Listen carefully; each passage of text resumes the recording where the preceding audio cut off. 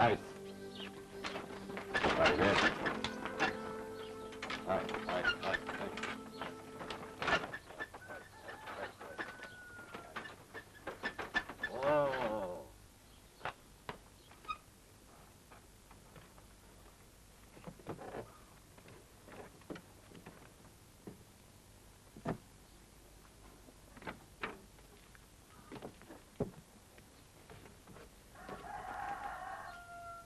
Те чека во црквата. Кај гробиштето. Благодарам.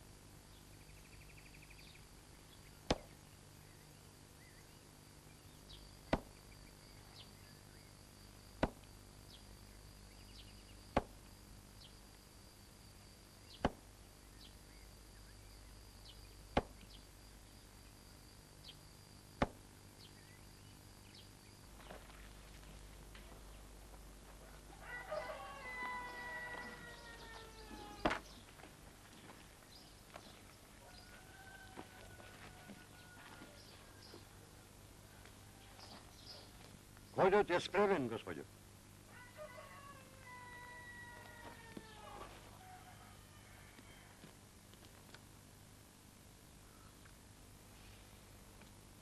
Биди послушна. Да, мамо.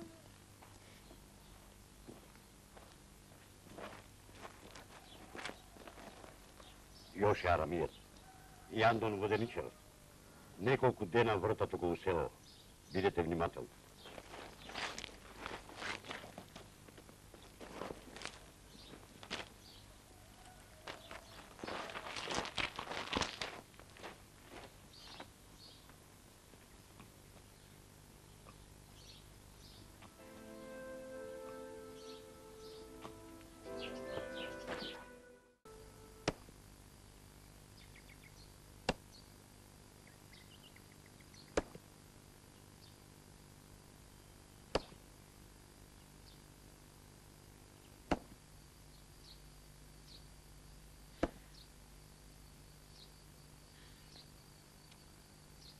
Na na na na na na na na na na na.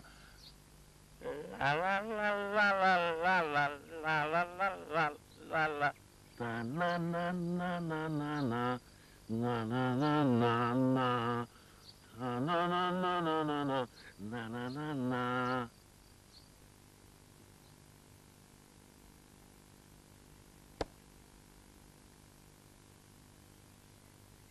La la la la la la la la la la la la la na na na na na na na na na na la la la la la.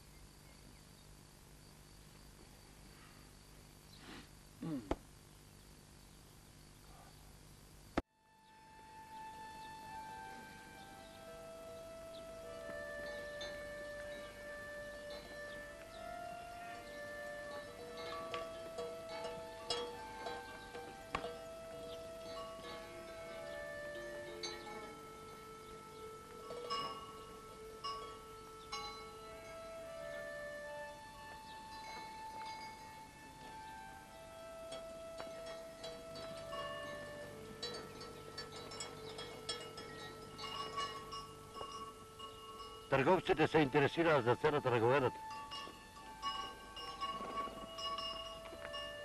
Оваа година нема да вршиме продажба. Ќе го зголемиме стадот. Довидување.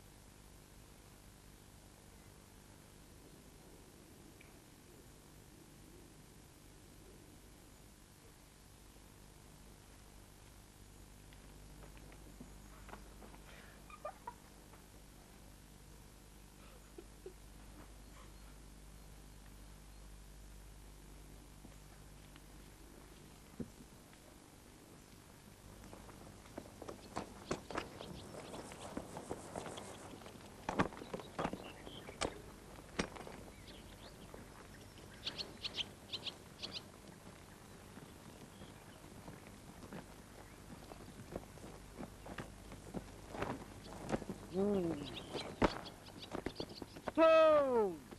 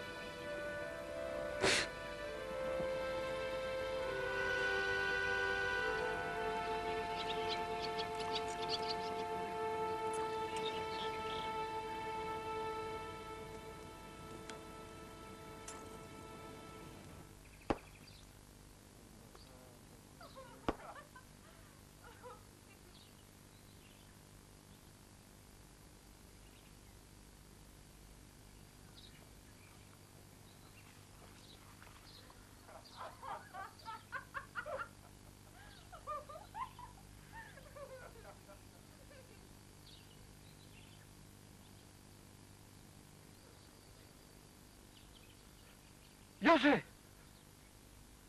Yo sé.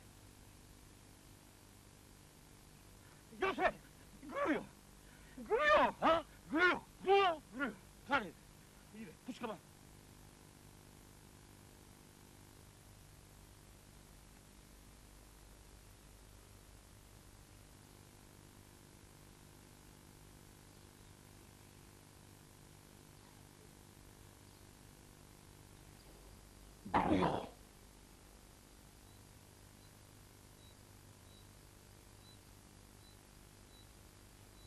Кој би рекол?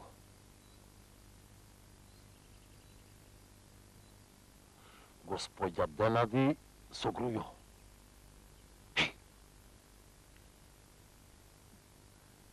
Ова на Музафер.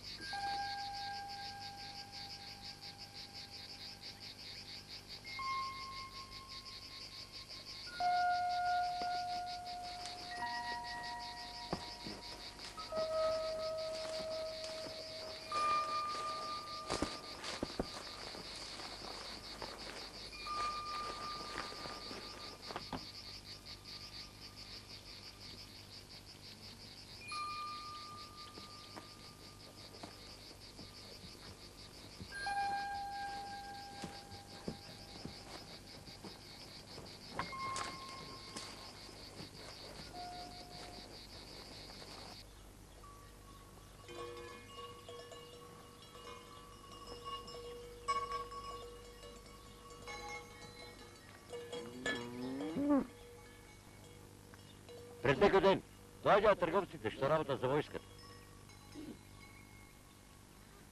И нив кажете им дека нема да вршиме продажба.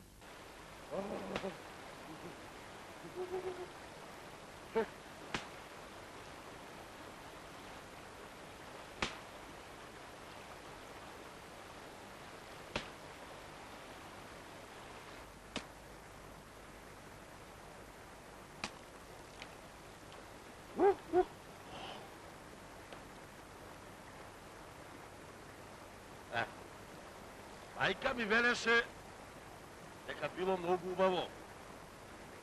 Вол да се печиш на слонце. Било здраво. Тој виж, баце! Мајка ми велеше дека било многу убаво.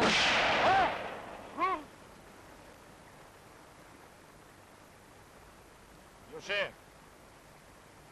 колку златници ти плати Музафер да ме убиеш? Колку, још е?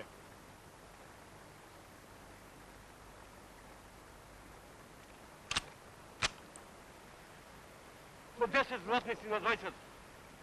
Још излези.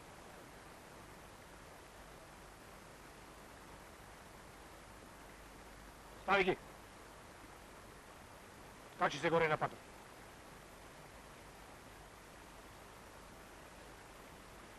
И ти, Андоне.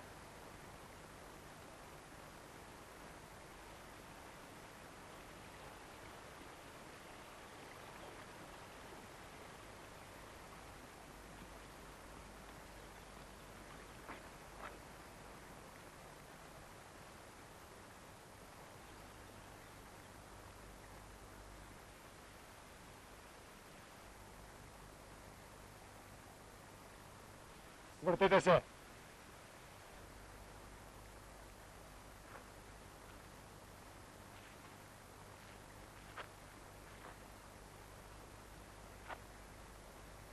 Врти се! Првиот куршум ќе го испукам во воздух. Потоа веднаш почнете да трчате. Вториот куршум ќе биде за оној што ќе се заврти. Јасно?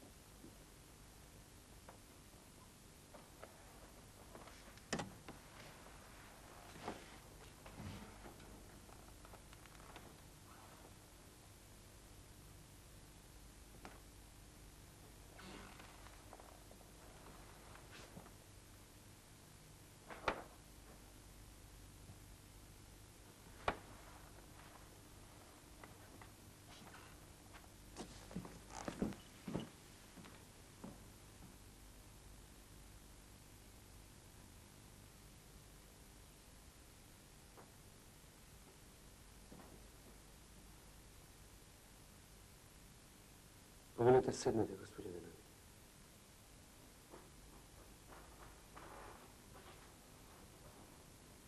Благодарам. Конечно овде.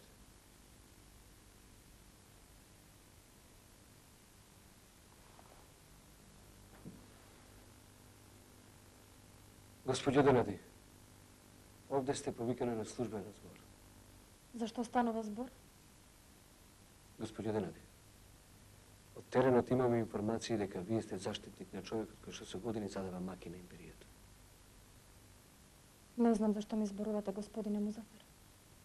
Ве предупредувам дека морате да ја зборувате вистината. Веќе ми го рековте тоа. Тогаш кажете ја вистината. Господине Музафер, не знам што зборувате. Точно ли е тоа, господјо Денади, дека со години сте љубовница на човекот кој што им е извршено низ убиство? За тоа пишува и странските вестници. Не знам зашто зборувате.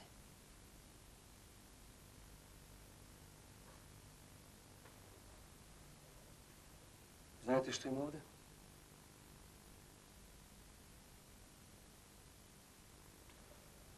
Ова е вашето полициско досие. И сигурно ќе ви интересира што има во него.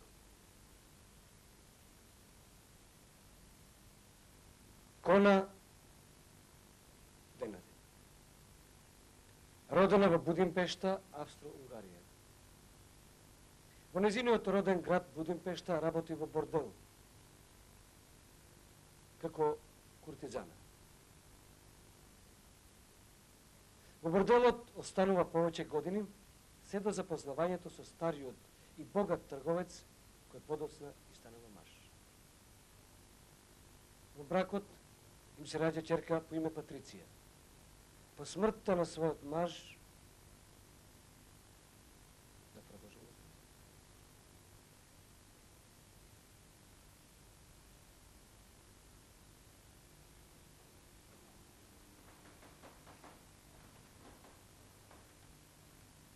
Господјо, се тоа можам да го разнесам из градот. А со тоа вашето достоинство, кое успеавте со години да го изградите, за да еден миг ќе отиде во неврат.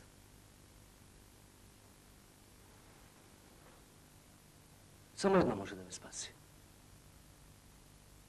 А тоа е да станете мои любовни.